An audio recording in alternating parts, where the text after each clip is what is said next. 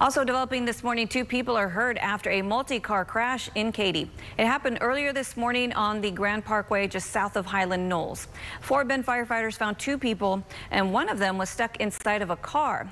That person was rescued and both were flown to the hospital. Their condition is unclear at this time. Investigators believe a car was driving on the wrong side.